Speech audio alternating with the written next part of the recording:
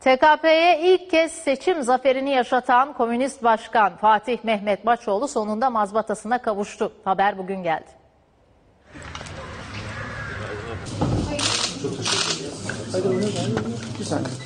Komünist başkan söylenemeyecek güvenlik gerekçesiyle alamamıştı dün mazbatasını. O gerekçe bugün de söylenmedi ama mazbatası verildi.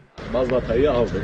Fatih Mehmet Maçoğlu seçimin en dikkat çeken isimlerindendi. Terör örgütü PKK'nın onca tehdidine gözdağına rağmen Tunceli Belediye Başkanlığı'na aday oldu ve kazandı. Her ne sebepse bilmiyoruz ama mazbatayı alamıyoruz. İki gündür beklediği mazbatasını bugün aldı. Dostlarına bana hediye, çiçek göndermeyin dedi. Onların yerine sokak hayvanları için bağış istedi.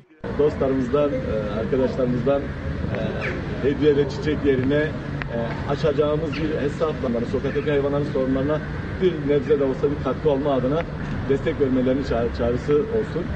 Ve komünist başkan göreve halay çekerek başladı.